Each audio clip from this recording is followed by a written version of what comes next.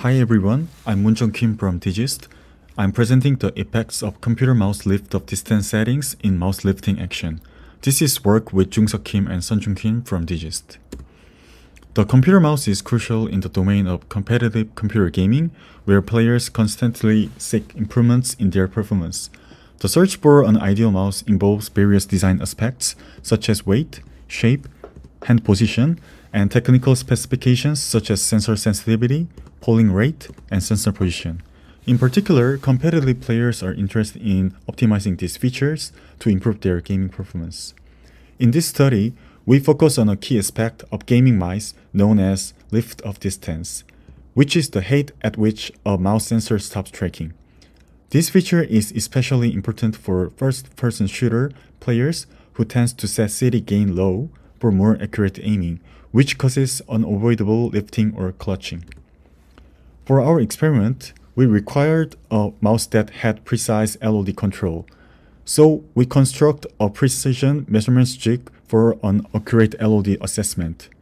Among the devices tested, EVGA X17 exhibited superior performance in the range of 10 LOD levels from 0.4mm to 3.0mm.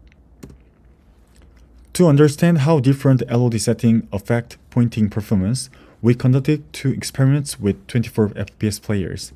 In the first experiment, a psych psychophysical test was conducted to determine the ability of humans to discriminate between different LOD levels.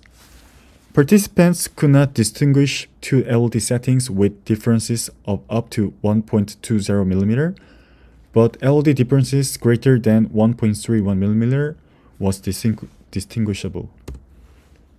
In the next experiment, we measured the amount of unintentional movement errors and tracking error quantitatively. A significant main effect of LOD levels was found in unintentional movement error. In takeoff phenomenon, amount of error was lower in low LOD condition. However, for landing, no main effect was found.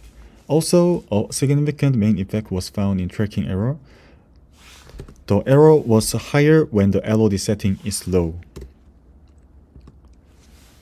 The findings show a trade-off between unintentional movement error and tracking error within the range of 0.29mm to 1.69mm. Among these ranges, increasing LOD improves tracking stability but more movement error.